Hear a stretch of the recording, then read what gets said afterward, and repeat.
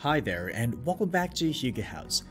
Today we're going to talk about this family-friendly sunny log cabin in Dorset, United Kingdom.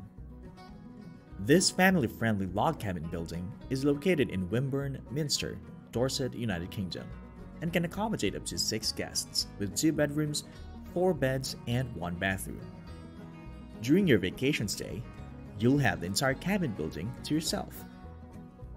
This log cabin building was built in autumn 2015 in its grounds and completely private, overlooking the heathland where horses and cattle roam freely for six months of the year.